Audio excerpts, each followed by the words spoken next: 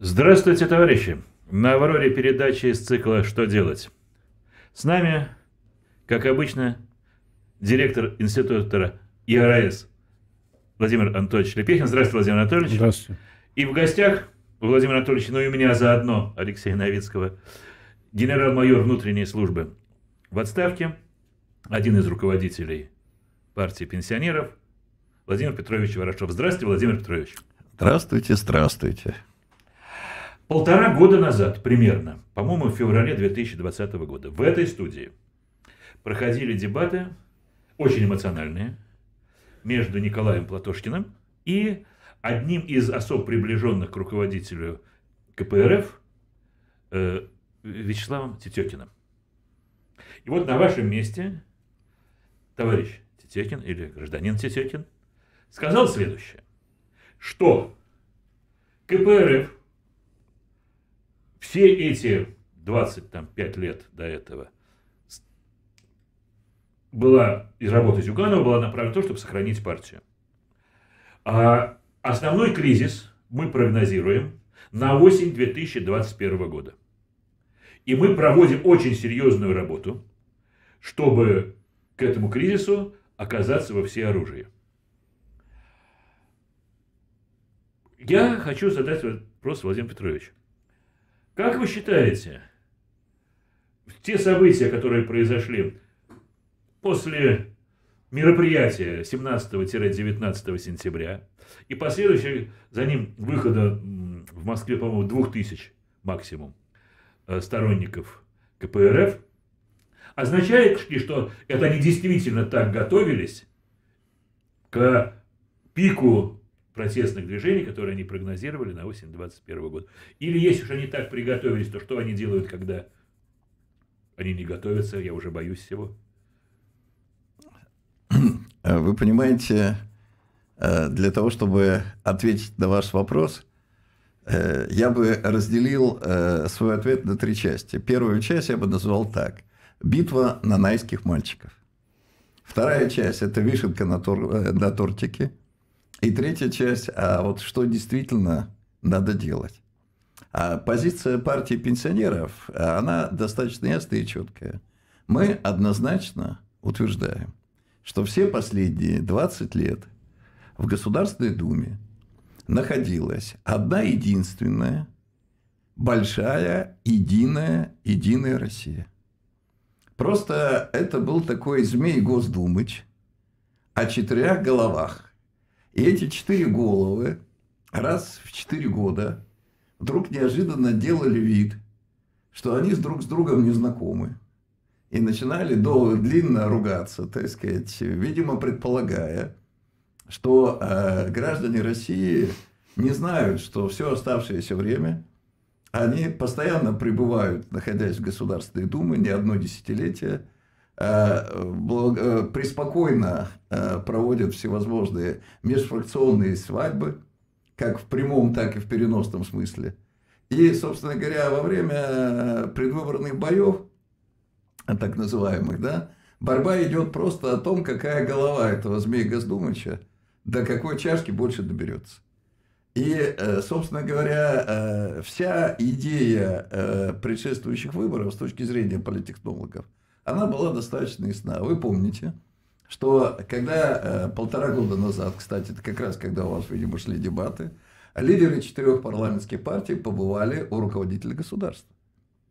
И он прямо, ясно и четко сказал, что его вполне устраивают четыре парламентские э, партии, которые находятся в Государственной Думе. А как они могли ослушаться? Пятая появилась. А сейчас я вам сформулирую следующее. И, э, собственно говоря, первичная работа всех политтехнологов сводилась к чему? Сохранить все четыре партии. Значит, э, тут достаточно ясно и четко. Владимир Вольфович, а он, кстати, как человек э, максимально э, творчески, насколько он мог, да, и максимально мужественно провел кампанию, он фактически вытянул ее всю на себя. Все дебаты, все вел он Хотя сам. фактически в два раза результат ухудшился, а, даже посчитали в два раза ухудшился. А Я не знаю, как на самом деле. Значит, ситуация какая? То есть, традиционно э, расчеты были такие, что 10-8% Владимир Вольфович берет всегда. Он взял меньше, и здесь две причины. Первая – это ситуация с Хабаровском и все, что произошло вокруг Фургала. И второй момент, конечно, вовремя, в кавычках, подброшенный ему такой это, ЛГБТ, ЛГБТ скандал, гейский скандал, который как бы в определенных кругах подорвал его влияние.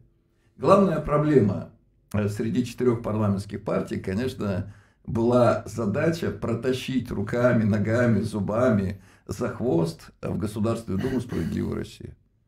В принципе, любому грамотному аналитику было ясно, и результаты выборов в регионах показывали, что «Справедливая Россия» в этот состав Госдумы не проходил. Поэтому и даже продуманные э, вот эти соития, слияния с другими партиями существенно им не добавили. Значит, и, э, безусловно, для того, чтобы протащить справедливую Россию в Госдуму, пришлось э, применять немало усилий, как судя по всему.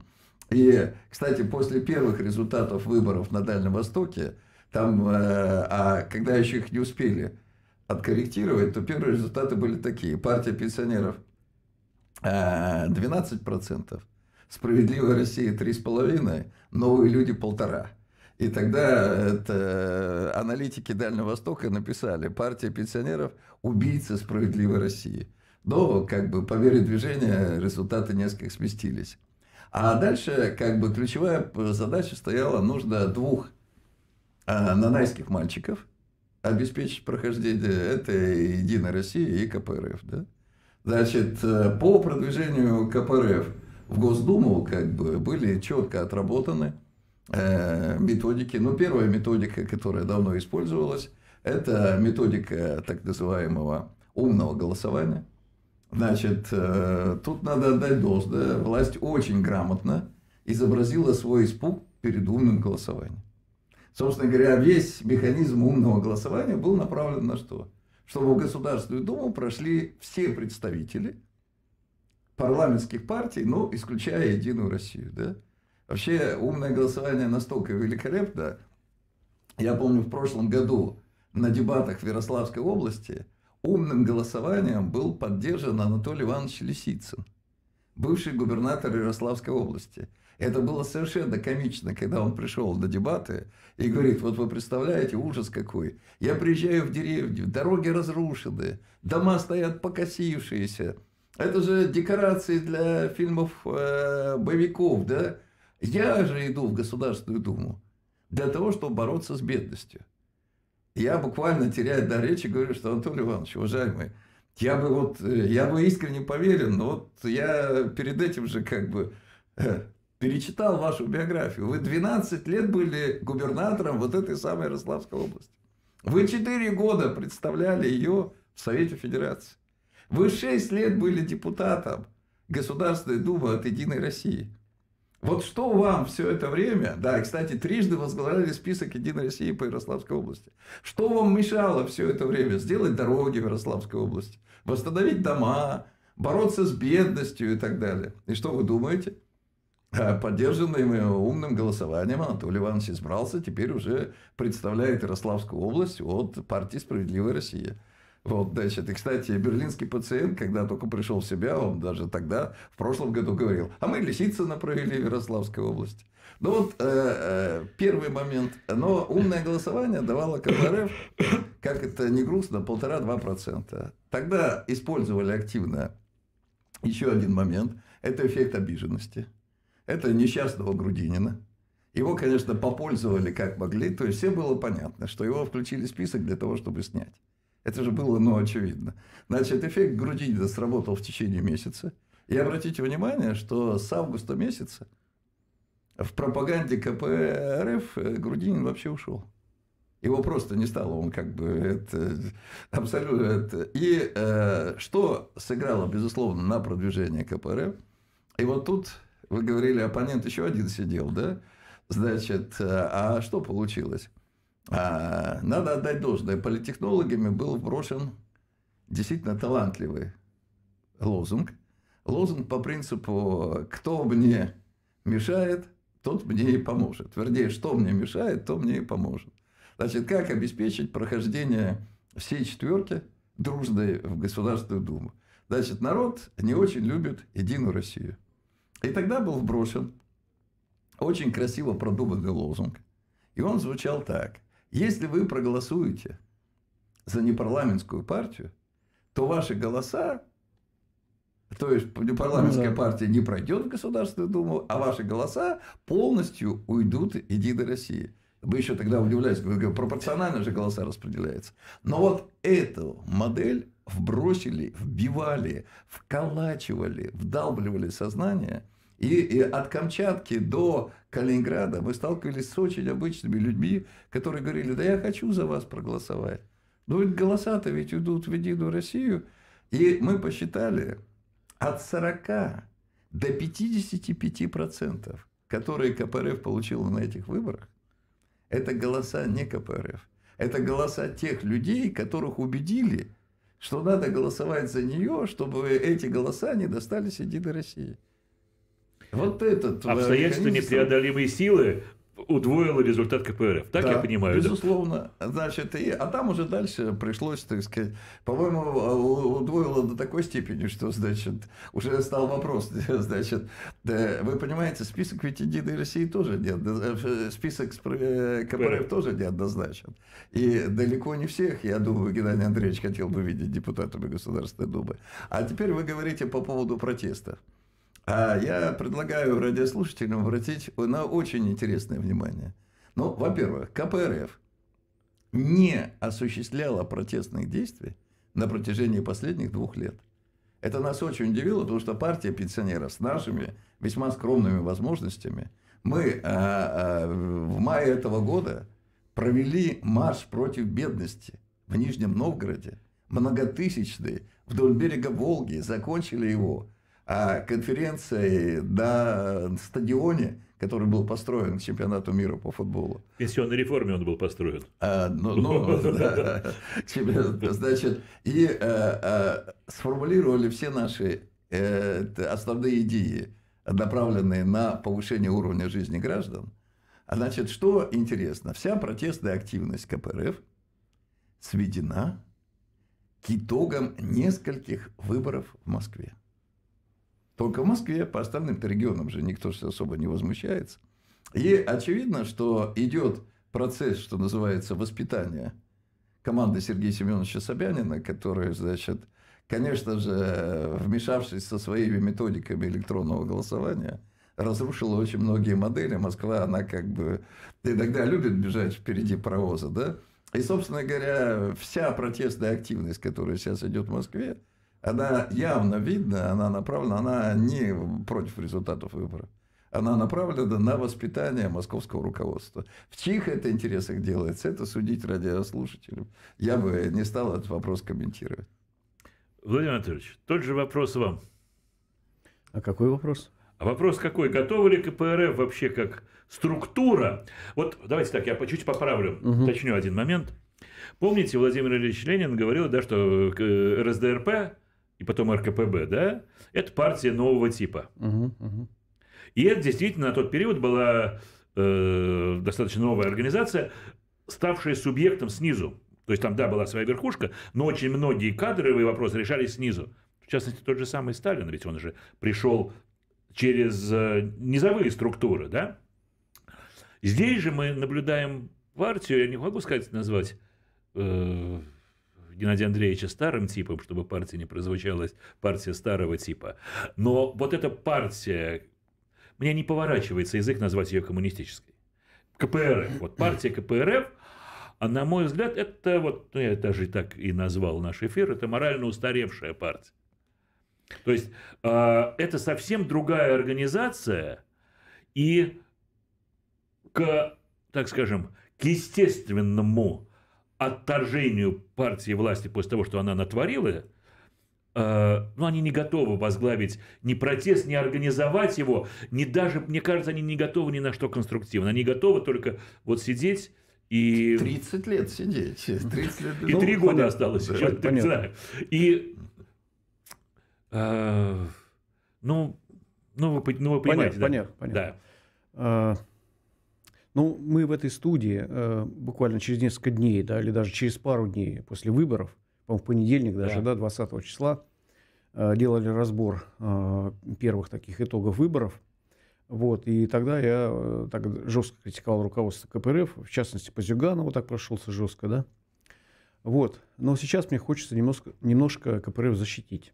Ну, имеется в виду не КПРФ вообще, да, а я констатирую наличие все-таки двух КПРФ в рамках одной структуры или двух типов людей. А потому что, да, есть руководство, э, э, которое проводит такую соглашательскую политику, да. Э, некоторые даже употребляют такую терминологию, как ренегаты по отношению к некоторым руководителям. Вот. И есть масса активистов и огромное количество очень интересных, действительно серьезных людей в КПРФ, которые, в принципе, должны были быть избраны, но в отношении них были проведены кампании и не дали им возможность стать депутатами. Э, в частности, в той же самой Москве. Вот, у меня такой образ возникает. Вот сейчас, э, э, ну, это молодежи будет понятно, наверное. Сейчас такой самый ходовой фильм, который идет на экранах, это американский блокбастер, «Дюна» называется, да? Вот, и вот режиссер, значит, Дани Вильнев, ну, собственно, я вот как бы невысоко этот фильм ценю, просто, ну, понятно, в рекламных целях он там раздут и прочее, прочее. А вот Предыдущий его фильм от 17 года, это вторая версия «Бегущих по лезвию». Да, вот это само, само, сам вот этот образ «Бегущих по лезвию», да, э, вот он в отношении КПРФ у меня возникает сегодня. То есть, э, что имеется в виду? Ну, в его этом э, фантастическом значит, фильме, который относится к 2049 году, собственно, лезвие это как бы разделяет репликантов и, и людей. Да, вот как раз такая грань возникла. Где человек, где репликант. То есть, там не видно эта грань стерлась. Э, вот. А, и сейчас примерно такая же ситуация, где репликанты, где люди мы примерно понимаем да, в нашем обществе. Вот. То же самое примерно в КПРФ. То есть а, есть вот эти самые ренегаты, есть радикалы. Как бы, да? Или, скажем, та низовая масса, которая действительно протестует, пытается найти идеологию и прочее, прочее. Ну, не очень получается. Вот поэтому э, ну, можно критиковать и совершенно справедливо – и мы уже неоднократно проходились, и э, сейчас отмечаем недостатки. Э, вот идеологически, прежде всего, это абсолютно верно, да, и все эти игры с Кремлем, э, вот, и политтехнологии, которые, понятно, были не только в пользу Единой России, не только в пользу парламентских партий нынешних, да, но еще и, это, может быть, мы коснемся, тем более это напрямую касается партии пенсионеров, в пользу новых людей, так называемых, да, вот этих самых репликантов. Кстати, вот в Фейсбуке появились очень интересные значит, посты по поводу того, э, значит, что такое новые люди. Кстати, наш вот э, э, коллега Шнуренко, с которым мы здесь сидели, да, вот он даже запустил там какую-то статью, опубликовал по этому поводу, где вот полная такая аналогия вот этих новых людей, значит, которые в каком-то смысле даже уже не люди, а биороботы, условно.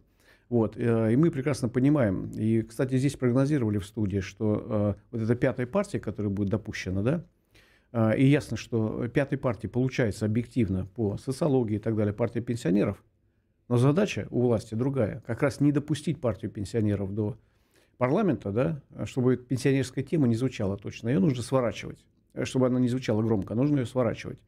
А вот либералов, либеральный проект, он просто необходим этой власти. И поэтому ни партия роста не тянет, ни гражданская платформа не тянет, да. Ну, яблоко как иноагент им не нужно. Поэтому вот эти новые э, люди, это, собственно, вот этот либеральный сегмент, который они протащили. Вот, значит, э, э, так вот, сейчас как бы ключевой момент э, или ключевой вопрос, который передо мной стоит, а что делать вообще с КПРФ в нынешней ситуации? Со всеми теми недостатками, проблемами э, и со всей той игрой, в том числе умное голосование, да, э, чтобы, с одной стороны, э, эта партия сохранилась, вот, э, но трансформировалась. Да, в том плане, чтобы поменьше было соглашателей, с одной стороны, какой-то кремлевской игры. Но, тем не менее, огромное количество, в том числе и молодых лидеров, таких как Парфенов, например, да, Значит, ну, Обухов, как бы я его знаю давно. Мои фамилии. Да, да, да. Значит, он себя очень хорошо тоже проявил, и, в принципе, вот. А потом вот эти все последние события связаны с тем, что наш... Э, вот я, я вот тоже эти фамилии называл, и потом, ну, когда вот я говорил про Ивана Ивановича Мельникова, и вот у него в приемной начался этот протест или попытка оформления, значит, исков э, э, в судебной инстанции и так далее. Значит, поэтому есть здоровые силы внутри КПРФ, и как сделать так, чтобы внутри КПРФ да, наметились эти здоровые тренды, и они не просто наметились, а как бы были реализованы. Я вот готов озвучить э, некие предложения по этому поводу, да, в каком направлении эта структура могла бы двигаться. Ну так, чисто гипотетически, потому что мы понимаем прекрасно, что за ней следят, ее держат в ежовых рукавицах, эту партию, да, соответственно, не дают руководству как-то себя проявить и, наоборот, э, опутали самыми разными нитями, зависимостями, да, вот, и помните, вот мы говорили, что вот Зюганов как раз как бегущий по лезвию, да, он в сложной ситуации. То есть, с одной стороны, мы ему отдаем должное, как человеку, который партию сохранил, там, вел эти 30 лет. С другой стороны, мы видим, что, понятно, провал в сторону э, как бы, э, вот, образования такого вакуума с точки зрения идеологии, самостоятельной политики, массовых действий, таких вот активных, да, э, акций, которые бы проводились не только в Москве. Причем в Москве это э, акции, которые проводятся не совсем Э, с, с собственной повесткой дня.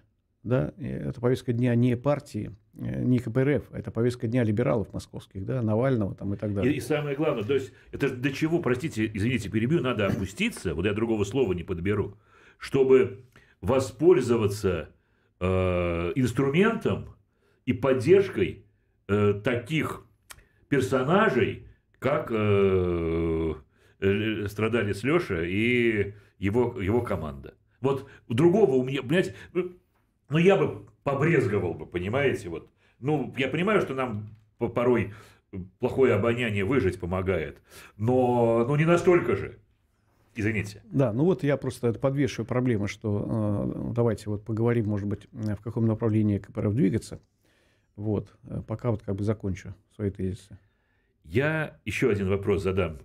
Угу. Ну, сначала Владимир Петрович, потом Владимир Анатольевич, вот на вашем месте, здесь вот сидел несколько месяцев назад Михаил Леонидович Хазин, и говорил следующее, что во всем КПРФ для власти хороша, всем хороша. Но есть там один серьезный очень недостаток. В названии этой партии есть слово коммунистическое. Поэтому а, при правильном подходе одной из кремлевских башен – надо продвигать партию эсеров. Другое дело, что мы прекрасно понимаем, что сегодня вышла статья Прилепина, что он разочарован в... Э, сейчас даже вам скажу, как это точно называется сейчас. Разочарован в себе? Нет. Да, в чем нет. Прилепин разочаровался в команде Миронова. Вот. Только сейчас. Значит, сопредседатель... разборка, да. Прочитаю. Председатель партии Спропозабра Захар Прилепин разочаровался в деятельности собственных товарищей, а именно команды его коллеги по политсиле Сергей Милоронов, сообщает московский комсомолец. Политик буквально пришел в ужас, кавычки, от уровня политических интриг в партии «Справедливая Россия». Он, как оказалось, он не думал, что ждать подвоха ему придется даже от команды Миронова. Перелепин не думал, что любые договоренности могут нарушаться в один момент. Кроме того, в ходе избирательной кампании писатель осознал, что не является хорошим оратором и не готов к дебатам и острым дискуссиям. Э, но это я цитирую... Вот именно, верить московскому комсомольцу стопроцентно нельзя. Ну, Возможно, знаете, было сказано как-то иначе. Да, но это что должен в кавычках есть, да, то есть вот. Так вот, а, есть мнение такое, что а, от тех э, структур, ну и тех лиц, которые эти структуры осуществляют, будут потихоньку избавляться, где есть слово коммунистическое. А, обновление КПРФ, которое совершенно необходимо, поскольку коммунистические идеи поддерживают очень много наших соотечественников. А, в противном случае они будут поддерживать другие структуры. Вы как считаете, э, надо ли, так скажем, надо ли КПРФ обновляться, как говорит Владимир Анатольевич, и э, надо ли, так скажем, властным структурам выдвигать вперед э, организации, где нет слова коммунистический, боясь этого слова больше, чем... Ну, вы знаете, одна из немногих ситуаций, когда я не соглашусь с уважаемым мной аналитиком Хазином. Потому что слово коммунистическое, оно ведь само по себе не сильно пугает. А пугает содержание идеологии и пугает практика. Ну, во-первых, э, что я должен сказать? Вот принимая участие во многочисленных парламентских дебатах, я столкнулся с одним. Две партии в ходе дебатов позволяли себе просто элементарные подтасовки, клевету, подмену терминов, э, унижающие оценки. И эти партии были КПРФ и Яблоко. Но если Яблоко, как партия, которая когда-то была партией российской интеллигенции, а сейчас существенно изменилась, да, можно как бы отнестись как к естественному явлению. Но столкнуться с такими демонстративными подменами, фальсификациями со стороны дебатеров от КПРФ было для меня лично очень большим ударом. И вот действительно прозвучали две фамилии, а, наверное, не зря звучат.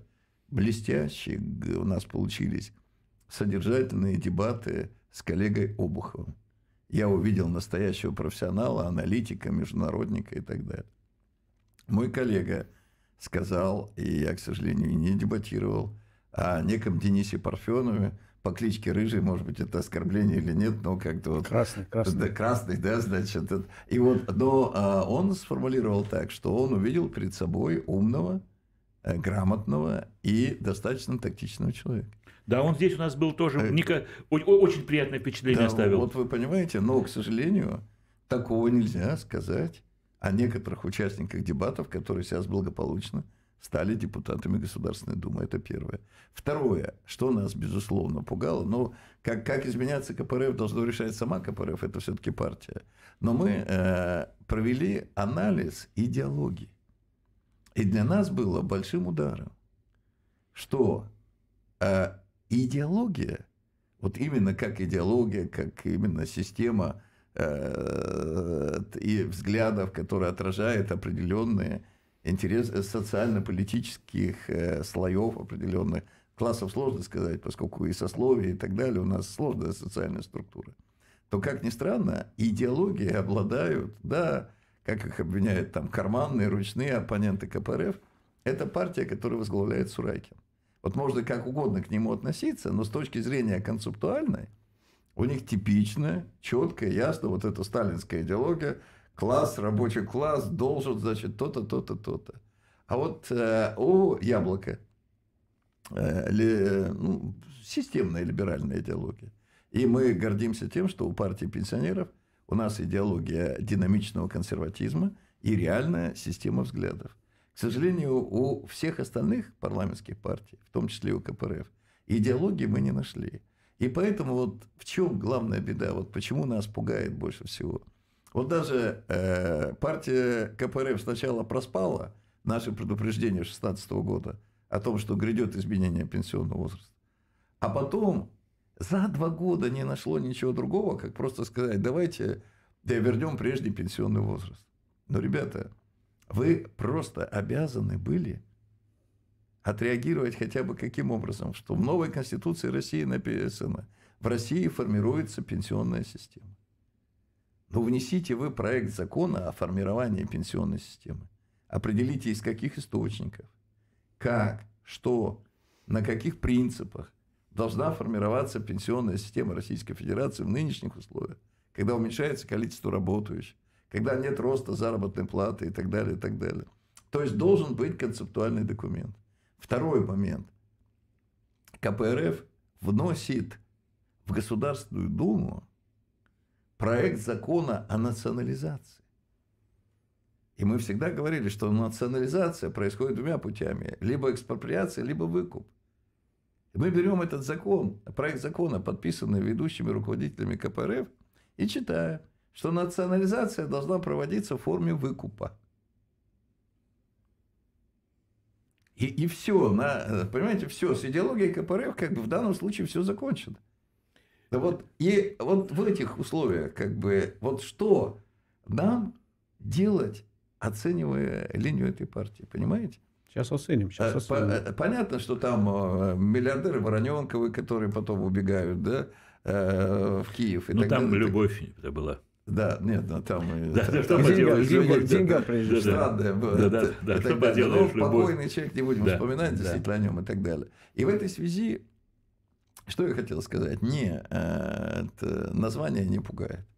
За 30 лет КПРФ стало важным элементом системы власти, которая купирует, значит, э, размывает, значит, и, э, так сказать, фактически направляет в совершенно другую сторону все основные формы социального протеста. Мгм. Она исключительно нужна действующей власти.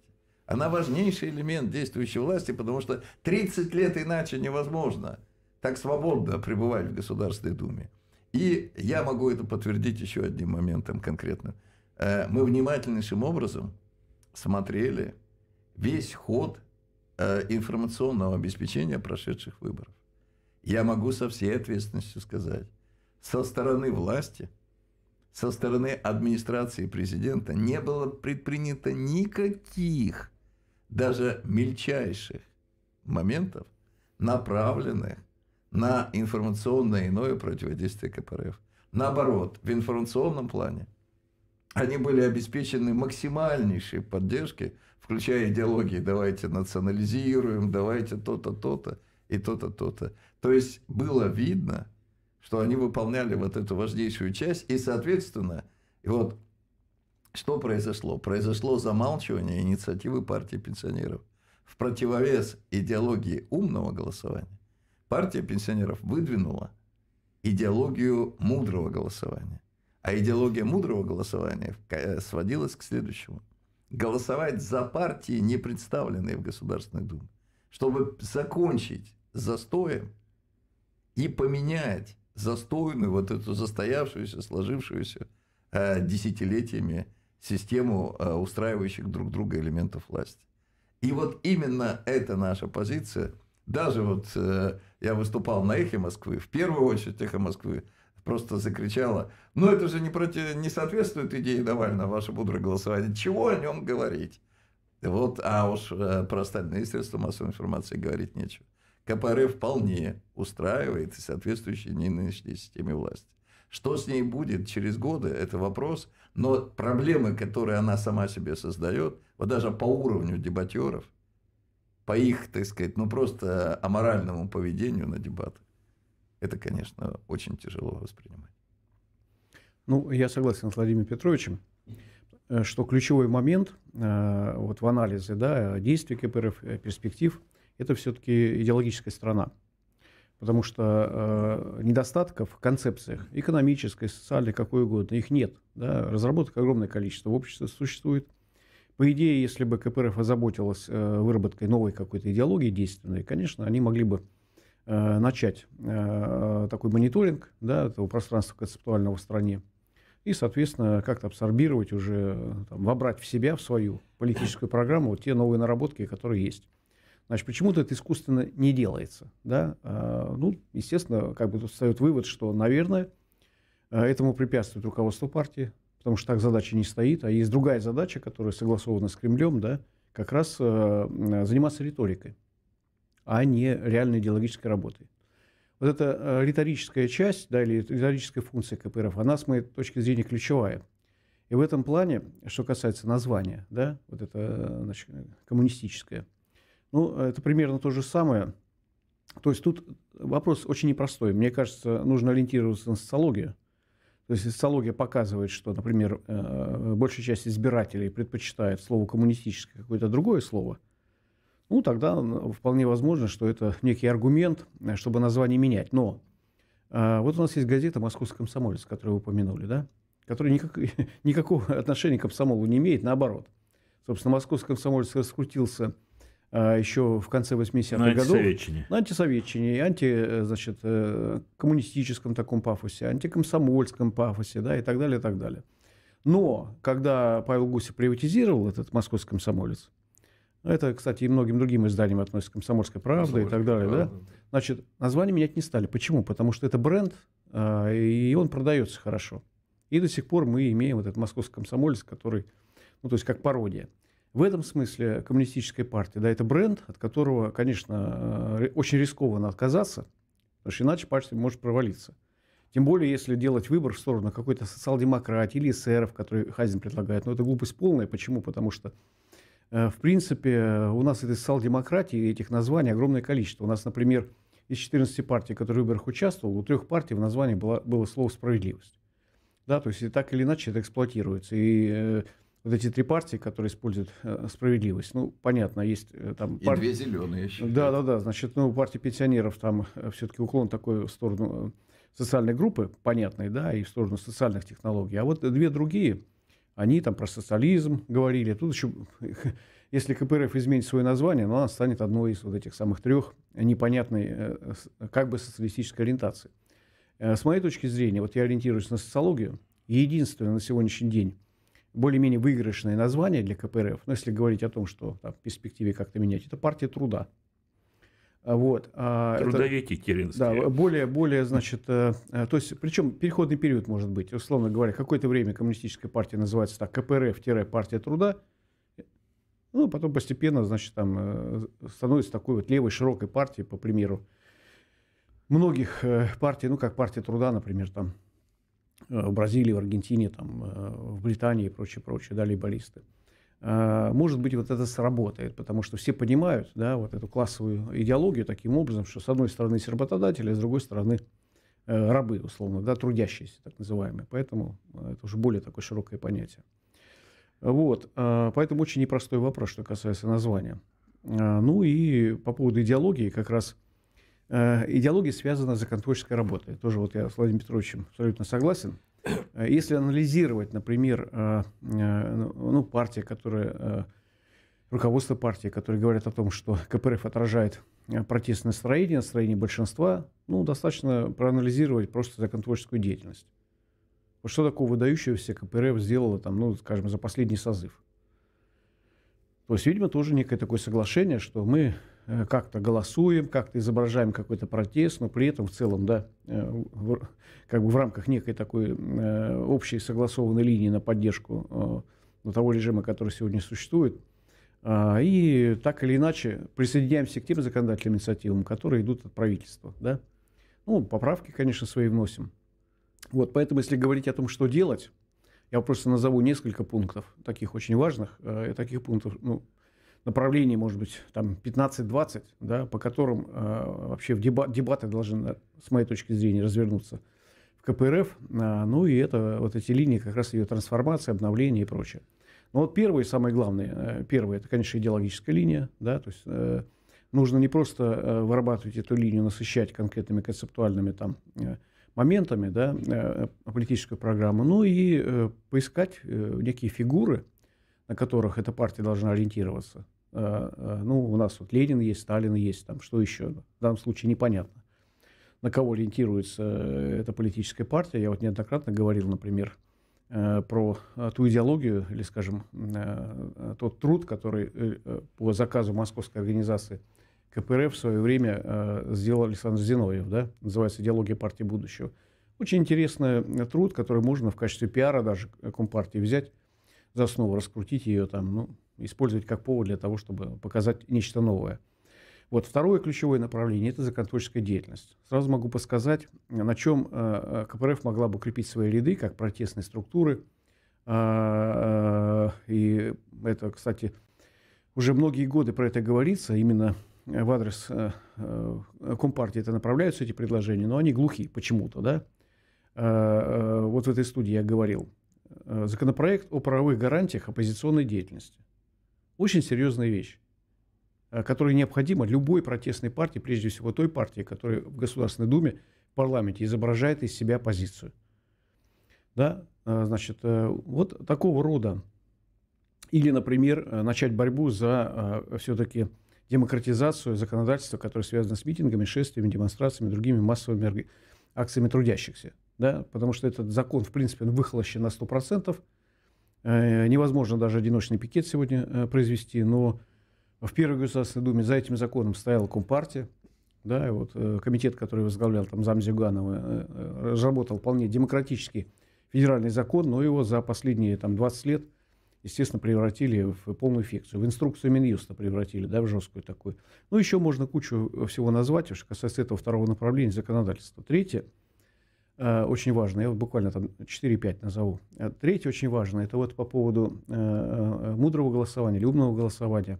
В принципе, коммунисты с учетом опыта последних выборов, да, и применения э, вот этого электронного голосования, которое оказалось открытым, э, закрытым, по идее, могли бы начать двигать э, концепцию открытого голосования.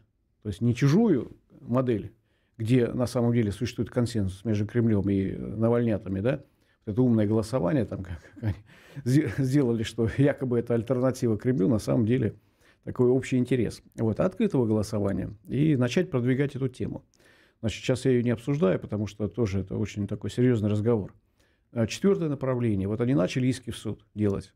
Это должно стать на ближайшее время одним из ключевых направлений. Да, не просто оформление исков в суд по поводу выборов, которые прошли, а в принципе наметить регионы, где больше всего было нарушений, да, э, начать там подготовку, значит, э, э, поиск этой самой информации о нарушениях, там, с какими-то аргументами в пользу того, что действительно были нарушено, было нарушено избирательное законодательство, и давить на власть в этом плане. Тем более, что это связано с выборами, которые будут в сентябре следующего года. А как мы видим, э, на этих выборах э, КПРФ не сработало в направлении подготовки наблюдателей. И мы вот, я на своем участке видел, на других там многих участках, просто отсутствовал представители КПРФ. А зачем, если это, об этом Конечно, эта задача была не актуальной.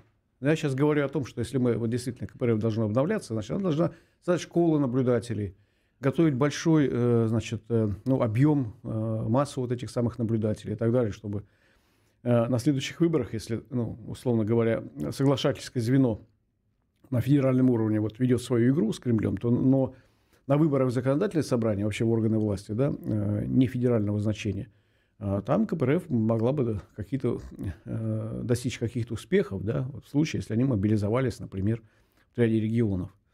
Вот. Ну и так далее, и так далее. Я уже не говорю про кадровую политику.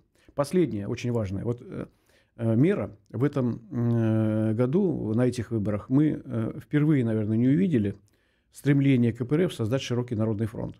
Да, из левых патриотических организаций, вот как НПСР, там постоянно об этом речь шла. А сейчас так, ну, какие-то левые группы там, они предложили объединиться, да, кого-то интегрировали в себя. Но в целом такой задачи мобилизовывать движения массовые почему-то не ставилось. Вот. А это очень серьезная задача сейчас, э, потому что вот именно в этом году э, э начал, э, такой, появился новый тренд стремление к объединению самых разных сил, и левых, патриотических и так далее, э, но вокруг кого объединяться. Я думаю, что э, это мало реально, вот последнее, что я хочу сказать, но может быть есть смысл, э, и почему я вот это предложение хочу сформулировать. Из 14 партий только две партии на самом деле отражали протест. Только две. Вот я сейчас коммунистов России не беру, я э, их не считаю даже сталинской, я считаю, что это троцкистская больше партия, ну и к тому же спойлер, да. А вот две партии, КПРФ, которая, понятно, в определенной степени этот протест отражала, или, по крайней мере, собирала протестные голоса, и партия пенсионеров. Э, э, может быть, может быть, с регионального уровня начиная и так далее. Возможно, это вот Владимир Петрович сейчас скажет, несмотря на то, что КПРФ на последних выборах начала кампанию, отдельную кампанию против партии пенсионеров, да, э, значит, чтобы эту пенсионерскую линию перехватить, и, ну и так далее, так далее. Может быть, первые такие шаги в сторону консолидации как раз вот таких протестных партий, которые отражают интересы народного большинства. У нас в народном большинстве 35-7 миллионов пенсионеров, да, тем более если есть пенсионеры нынешние и будущие, и есть вот КПРФ тоже как бы э, отражающий интересы так называемых трудящихся. Вот с этого, может быть, начать единение и дальше э, стремиться расширить круг а, значит, а, вот этих партий, условно, да, левой патриотической ориентации, которые ориентируются на интересы народного большинства. Я вынужденно общаюсь, я не говорю, что это мне не нравится, я вынужден общаюсь с большим количеством людей, и с учетом своей предыдущей работы тоже. И могу сказать следующее, что у людей сейчас, ну, а вот это достаточно традиционное, разочарование после выборов. Абсолютно. Вот. И разочарование, прежде всего, против, собственно, организации под названием КПРФ. А, но такое разочарование, оно достаточно регулярно проходит после каждых выборов. А, вопрос такой. А может ли, ну так скажем, властная структура позволить создать, создать внутри КПРФ реальный процессный сегмент.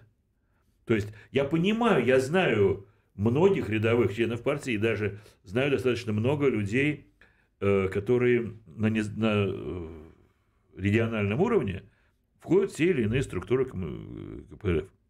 Значит, но я совершенно точно понимаю, да, что если они будут пытаться самоорганизоваться, а не решать локальные какие-то совсем задачи, да, как только они начнут самоорганизоваться, сразу они не только руководству партии будут опасны, но и также могут создать иллюзию тем над кураторами руководства партии. А с другой стороны, мы понимаем, мы-то с вами понимаем, да, что если нет реальной оппозиции, то мы и сами, э, то и власть сама быстрее гниет, потому что не, не на что опереться. Но у меня нет ощущения такого, что на сегодняшний момент во власти люди, принимающие решения, понимают, что им, нужна серьезный, им нужен серьезный оппонент. Вот у меня полное ощущение, что они считают, что э, чем быстрее они это поле выжгут, и что там греха таить, даже вот этих ну, депутатов э, от КПРФ прессуют сейчас, по крайней мере, у народа такое ощущение, да, у тех, кто хоть какую-то самостоятельность проверяет. Как вы считаете, есть ли во властных структурах люди, которые могут возглавить обновление КПРФ? Э, вы знаете, э, ответ на этот вопрос заключается в следующем. А само руководство КПРФ хочет этого обновления? Вот Нет. ведь, э, вы знаете, даже не надо властные структуры, потому что, я думаю, все вопросы обновления будут э, благополучно зарихтованы и, так сказать, при, прооперированы именно э, руководством КПРФ самым по себе. То есть тут и не надо вмешательства какого-то дополнительного. Вы знаете, к несчастью, ведь что получается, когда мы вот э, ведем дискуссии с представителями КПРФ, они говорят, мы вот то-то сделали. А я всегда, я вот там выступила, там-то. Я говорю, понимаете, был такой выдающийся государственный и политический деятель в России. Звали его Владимир Ильич, и фамилия его была Ленин. Так вот, он в свое время сказал, что партия – это ум эпохи. Ну, потом он еще сказал, совесть, честь и так далее. Вот понимаете, для того, чтобы быть партией, нужно быть умом эпохи. И вот любые объединения, соединения, разъединения, они всегда должны опираться на идею. И, кстати, вы говорите, нужна ли стране оппозиция? Я абсолютно уверен, во власти разные люди, во власти есть немало умных людей. И если бы оппозиция реальная думающая оппозиция предложила бы варианты действий и решения важнейших социальных проблем, над которыми бьется и сама власть, и зачастую не может решить не потому, что власть плохая, а потому что проблемы сложные, то тогда такого рода оппозиция, она действительно была бы не просто нужна, а востребована, потому что она обеспечивала бы, с одной стороны, социальную стабильность, потому что что мы говорили, идя на выборы? Мы говорили, что основная задача партии пенсионеров – это сформировать такую систему социальных отношений в российском обществе, которая бы обеспечила стабильность существования и раз и навсегда убрала Россию в качестве территории для непродуманных и преступных социальных экспериментов, как отечественных, так и зарубежных экспериментаторов. Вот как бы наша основная задача.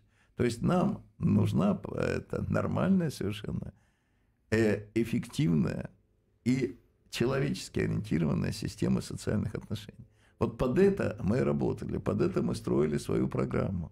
К сожалению, вот мы столкнулись с тем, и во время дебатов столкнулись, что э, нашего уровня анализа фактически мы у наших оппонентов не нашли.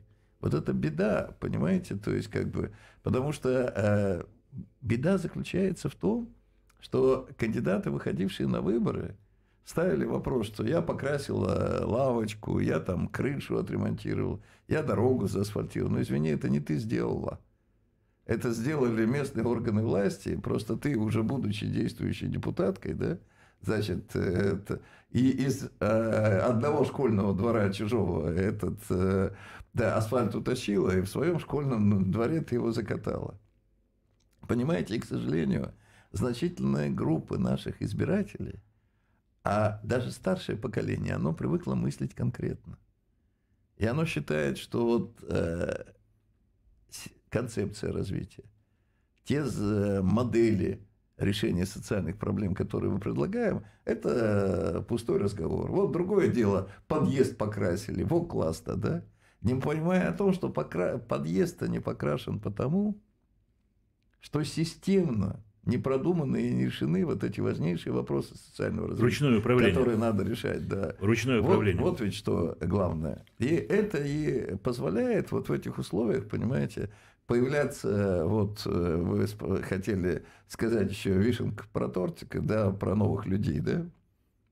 Ведь смысл заключается в том, что большинство и тут я совершенно с вами соглашусь, большинство аналитиков говорит, что новые люди – это достаточно интересный полит технологический эксперимент, который сводился к следующему. Но не заходит в России в парламент а партия вот такое, как бы, даже не либеральная, а вот такая, типа Союза правых сил, значит, и тому подобное. И поэтому ее нужно было вот какими-то невероятными условиями запихнуть. Но не, ну, не берут гайдаровцы, значит, все эти чубайсовцы, чубайсята и так далее, но больше одного процента. Но больше полутора, но больше двух. Но что дело и яблоко, так сказать, со всеми этими накачками, так сказать, или доходит до трех. И тогда вот, видите, удалось сформировать такую э, форму, даже не фа, а оболочку, да, э, внешне нейтральную, такой красивый троянский конь. И сегодня у нас э, в парламенте присутствует, так сказать, структура.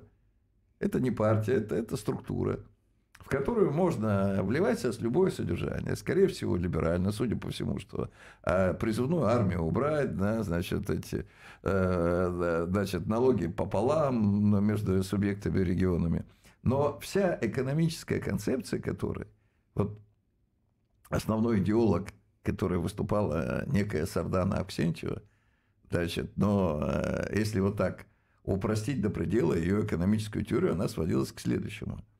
Что, придя на должность мэра Якутска, она пересадит чиновников с машин на олени, выселит их из кабинетов и разместит их в веранге, на машины и мэрию продаст, и таким путем она, значит, обеспечит жизнедеятельность города Якутск. При этом, значит, на вопрос, элементарный вопрос, что вы понимаете, это все прекрасно, но вы пришли в партию, которая за рекламу своей партии во время финала чемпионата мира по хоккею заплатила средства, которые равняются бюджету города Якутска. Так не проще ли было эти деньги взять и отдать любимому городу, да, и обеспечить решение всех тех вопросов, над которыми она билась, да, чем тратить деньги вот на эту вероятную рекламу. Конечно, Э, понятно, что э, партия «Новые люди», она сделана, мы явно видим, что это сделано группой питерских олигархов. Ну, по крайней мере, так говорят социологи, не будем утверждать. Э, сейчас в социологических кругах идет обсуждение, кого выдвинут от, не от партии «Новые люди» на ближайших выборах президента Российской Федерации. Будет ли это Алексей Леонидович Кудрин, кто-то говорит даже, что самого Сергея Владимировича Кириенко выдвинут. Кто-то говорит, что даже это кого-то из широко известных э, э, питерских, так сказать, банкиров и так далее, и так далее. То есть разные идут дискуссии. Но то, что э, партия «Новые люди», во-первых, пришла надолго, даже не партия, а структура. Во-вторых, то, что она подарит немало очень интересных, так сказать, моментов и так далее, и так далее в нашем политическом раскладе. И в-третьих, то есть, ну, это видно, что это как бы чужеродный элемент российского политического развития, и э, тогда его продвижение необходимо будет постоянно сопровождать соответствующими, знаете, средствами подавления иммунитета. А вот какими нам придется с большим интересом Ну наблюдать. Вот, кстати, появление этого феномена, да, новые люди, во многом связано в том числе и с пассивностью КПРФ. Поскольку КПРФ не предложила никакой новой идеологии, да, ну, понятно, вот слово «новое» реализовалось в либертарианском варианте. Э, Я вот даже более жестко скажу о роли этой группировки. Да. Э, Вообще, поскольку мы же э, почти колония да, э, России, периферия Запада, и прежде всего американского образа жизни, американской экономики, да, э, американской геополитики, а, и покорно следуем за теми трендами, которые происходят там. Значит, вот очень коротко просто скажу. Вот тоже э, я вот вначале э, на фильмы ссылался, голливудские, что у э, политиков американских на уме э, в голливудских фильмах часто на языке. Вот есть замечательный фильм под названием «Власть». Ну, он замечательный в каком плане? Он там скрывает некую подоплеку э, э, формирования такой абсолютной исполнительной власти. Значит, ну, э, авторы этого фильма все на Дика Чейна перевели, что вот он там э, как бы это все придумал и вообще виноват э, вот в вырождении да, американской демократии. И будто бы ему принадлежит идея, э, э, собственно, выдвинуть э, сначала Буша-младшего, да, а потом взять его в оборот и при этом слабом политике сформировать, вот, реализовать эту теорию абсолютной исполнительной власти, иск- или исключительной исполнительной власти. Э, Значит, это сейчас я не обсуждаю. Действительно была такая попытка, э, когда э, исполнительные структуры, прежде всего аппарат президента получил широчайшие полномочия да, в Соединенных Штатах Америки.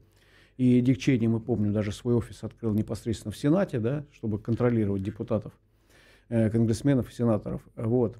Но реакцией на это стало, стал резкий рост либертарианства.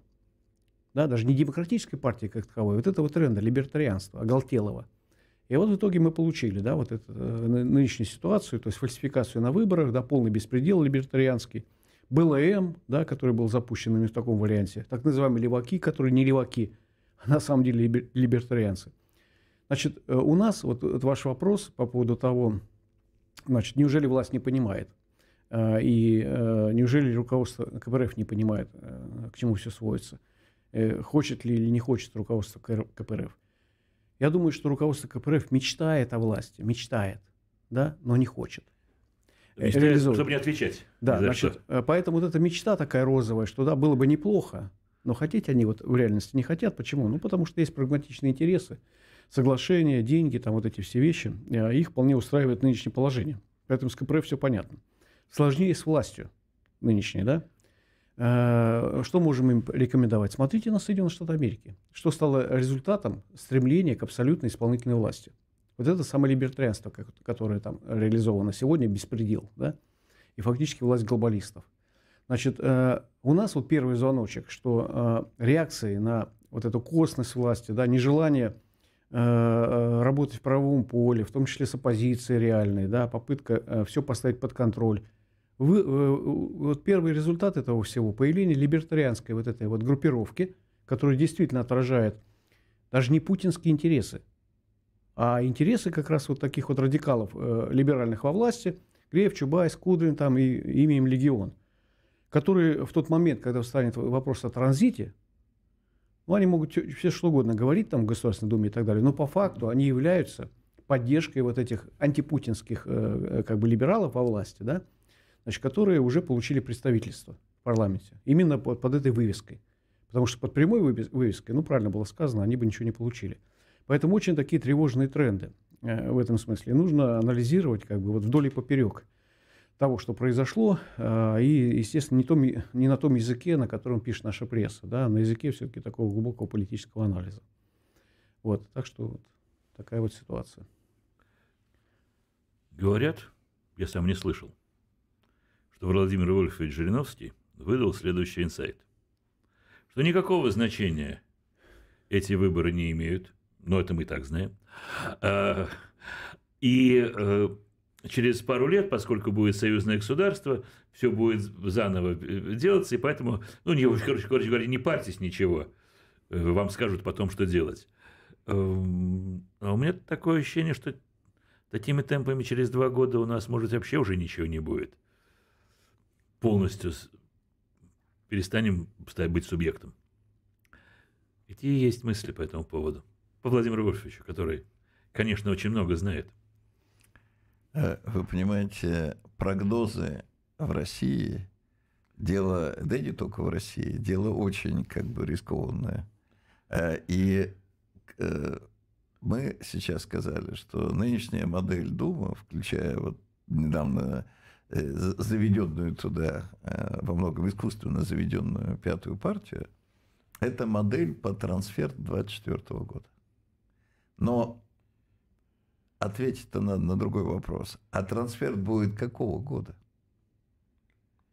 И вот от ответа на этот вопрос зависит э, достоверность или недостоверность позиции Владимира Вольфовича не только.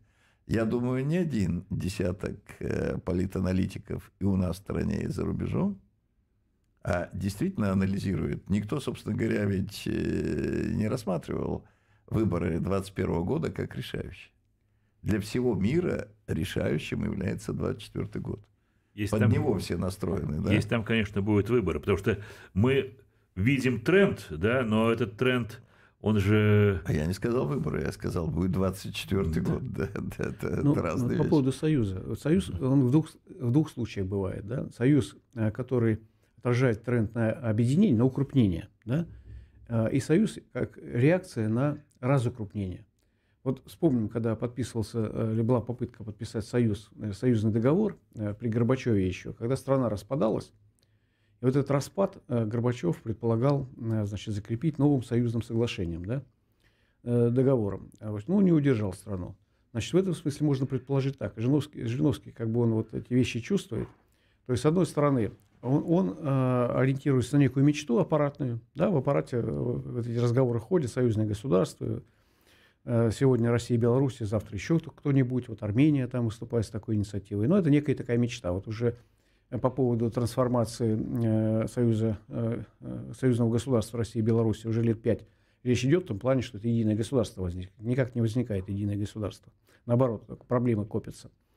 Вот, это вот с одной стороны, да. А с другой стороны, если он ошибется вот на 180 градусов, да, значит, и э, э, начнется распад России, разукрупнение ее, появятся новые очаги, например, э, в Сибири, да, куда вот сегодня устремились некие э, большие проекты, так называемые, да, идеологические тренды. Сейчас мы там города-миллионники будем строить, сейчас мы туда, значит, мигрантов завезем, миллион человек, потому что рабочей силы негде взять.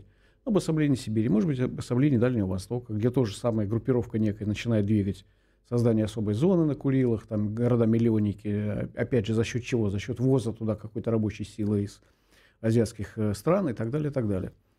Может быть, как раз на, э, э, в связи с вот этим появлением нового, нового тренда на развал России возникнет необходимость создания какого-то нового союза. И все скажут, ну, блин, Жириновский опять отгадал, да?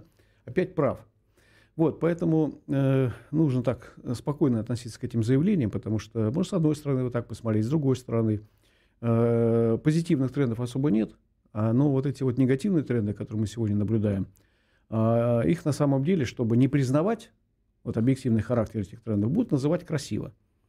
Да, и придумывать новые там названия. Там страна обновляется, какой-то новый союз там – Э, в очередной, как вот с Евразийским союзом, да, был таможенный союз, был Евразес, потом Евразийский экономический союз, там, ну, то есть это все на, на, э, в пределах той же самой пятерки государств, да, но разные названия.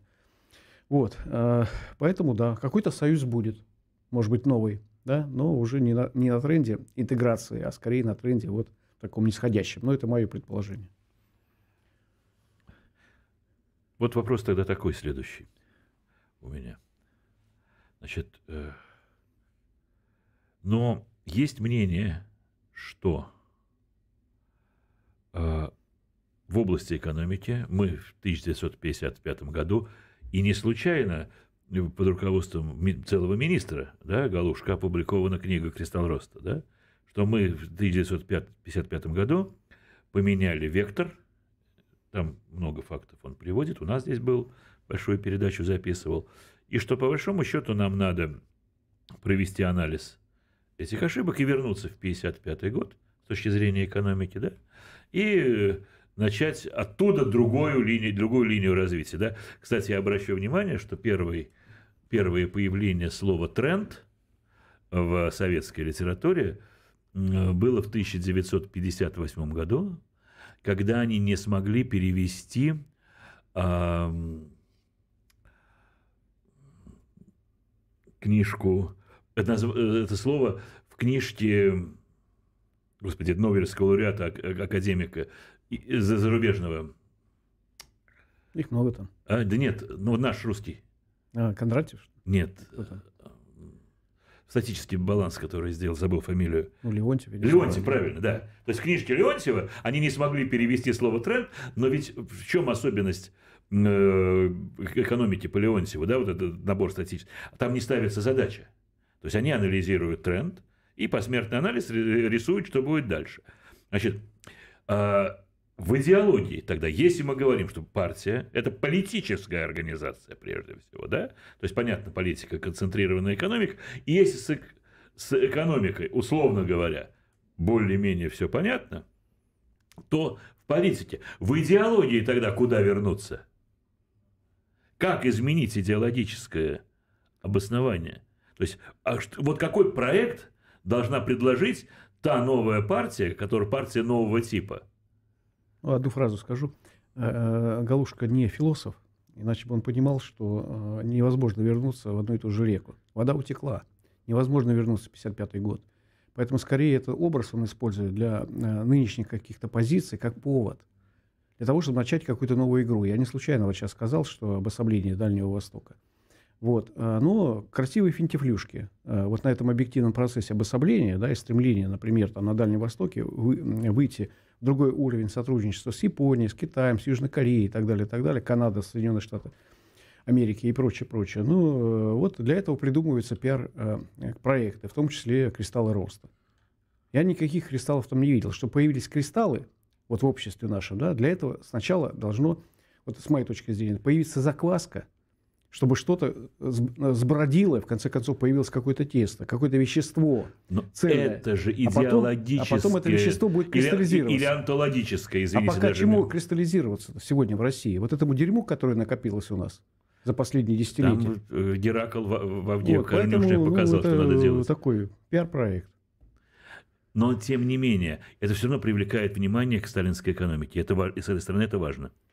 Э, привлекает внимание, ну, нужно вот разделять риторику и реальность. Там нет э, в сущности никакой сталинской экономики. Есть риторика по поводу того, что мы будем порядок наводить, сейчас мы будем государственные проекты большие делать и так далее. Вот то, что выгодно олигархическому классу. Им нужны деньги. Вот э, те деньги, которые являются профицитами в бюджете, да, за счет ограбления народа, ограбления пенсионеров и прочее, прочее, которые они не могут э, направить в нужное русло, в том плане, что даже не могут их э, освоить. И вот э, всякие олигархические группы придумывают под, под видом стали, сталинской, возвращения к сталинской экономике, какого-то патриотизма экономического, развития Сибири и прочее, прочее. На самом деле придумали механизм отсоса этих денег из федерального бюджета, профицитных, себе на большие проекты. А этому подается, что нужен большой проект, Россия должна быть глобальной и так далее, и так далее. Когда начинаешь анализировать, нет там никакого большого проекта. Потому что отсутствует общество, отсутствует идеология страны, цивилизации российской. Демагогия сплошная. Поэтому не нужно, так сказать, верить вот этим всем э, риторическим э, как бы высказываниям по поводу того, что мы вернемся в сталинскую экономику. Никто не собирается возвращаться вот из э, олигархических структур в сталинскую экономику. Им в этой экономике хорошо. Но только нужно, поскольку она падает сегодня, им нужно как найти новое дыхание для нее. А поскольку народ э, и э, верит в, это, в эту советскую экономику, там и очень популярно это все – не будут же они говорить, что мы вот сейчас криминальная экономика, а мы сделаем еще и более криминальной ее. Да? То мы воровали, значит, госсобственность, а теперь мы бюджет полностью разворуем. Поэтому вот придумываются всякие такие красивые штуки, чтобы народ молчал и, более того, аплодировал бы им. Ну, это мое личное мнение. Я про идеологическую основу. Значит, почему даже среди, ну, может, как диалектику изучали, да, знаем, что в недрах любой структуры зарождается ядро следующей структуры. А в недрах кровавого царского режима зародилось ядро будущей советской цивилизации, которая еще лет 20 нащупывала правильные пути, мы это понимаем тоже. Значит, хотим мы этого или нет, в недрах нынешней структуры все равно есть ядро будущее. Ядро будущее. Да? Другое дело, успеет ли это ядро. Так вот, как если Коммунистическая партия Российской Федерации не выполняет роль идеологического ядра, она не выполняет, мы это понимаем. Название соответствует какое должно быть, какая вот эта, какая партия нового типа, не морально устаревшая партия даже, а какая она должна быть? Вы, вы частично уже ответили на этот вопрос, добавив слово «новое». Но э, и опять же хорошо напомнили о диалектике. И действительно, э, в данном случае я бы вернул вас к третьему закону диалектики. Это отрицание отрицания. То есть возврат к якобы старому, но и на ином качественном уровне. Значит, вы обратите внимание, что действительно за последние десятилетия пошел такой очень активный интерес, в том числе и в Западной Европе, и в США, интерес э, к марксизму. Но хорошо это или плохо? С одной стороны, казалось бы, хорошо. А с другой стороны, вот такой активный интерес к марксизму ведь идет почему?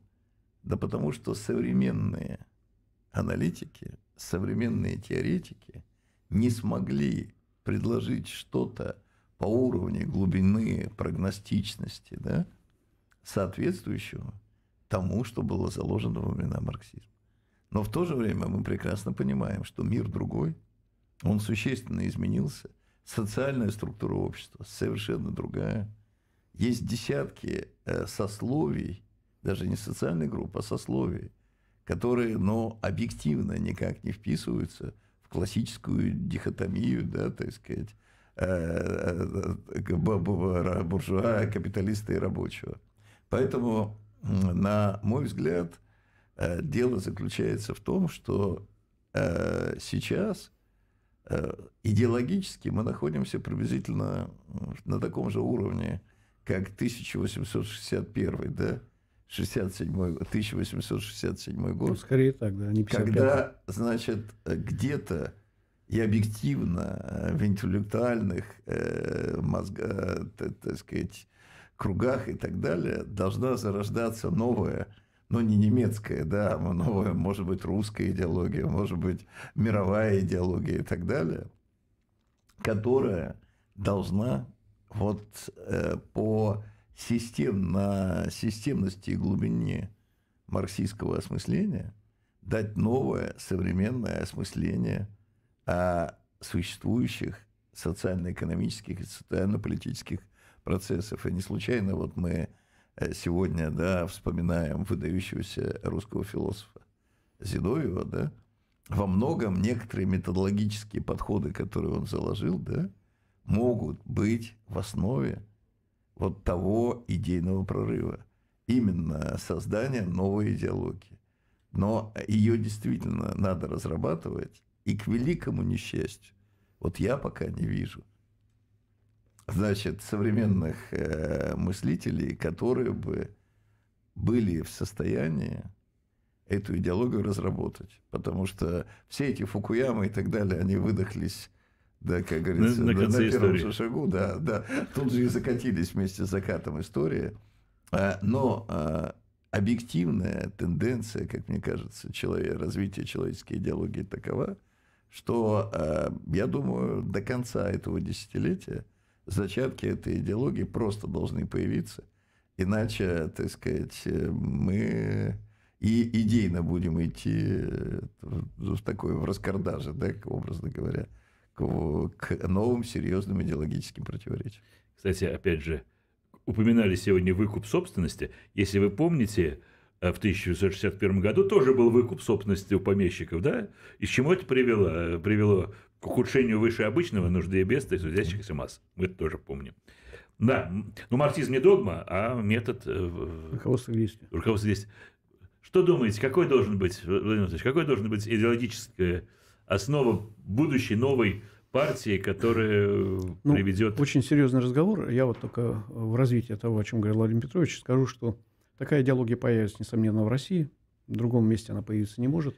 То есть э, идеология, которая, с одной стороны, как бы вырастает из марксизма, во-первых, да, а во-вторых, из опыта социалистического строительства э, советского государства, вот, соответственно, осмыслением того негативнейшего опыта, который мы имеем сегодня, как отрицание да, э, советского опыта и марксизма и прочее, прочее. Ну и, опять же, учитывая, что э, наша страна, наши люди, э, наша там, интеллигенция, образованцы, образованцы, интеллектуалы и прочее, да, э, ну, такой концентрации именно методологического уровня да, осмысления происходящего, ну, я думаю, что ни в одной стране такого нет.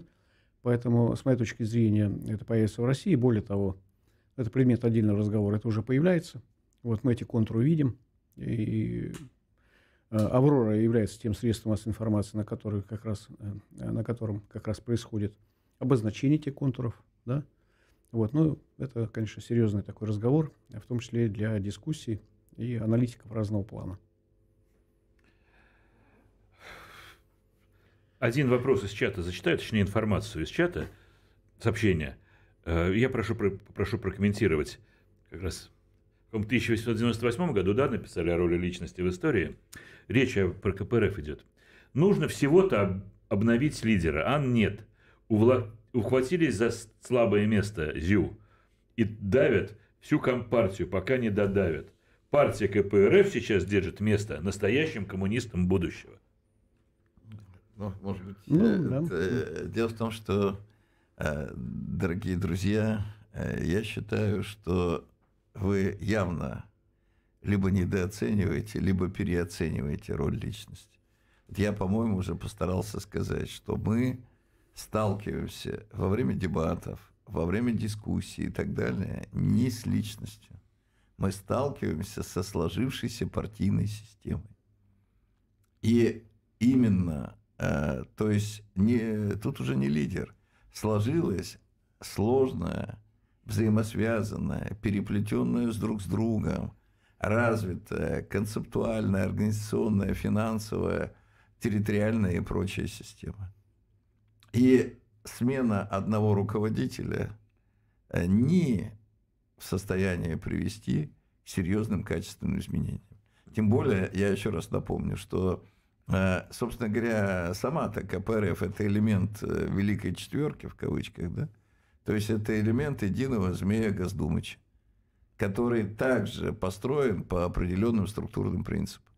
И э, революционер, который придет, он будет в течение, ну, в лучшем случае полугода, в худшем случае в течение 10 месяцев перестроен, отрихтован, отшлифован – и станет еще более худшим элементом, чем, в общем-то, э, внутренне где-то старающийся быть искренним, достаточно, так сказать, не глупый, э, в общем-то, человек Геннадий Андреевич Зюганов.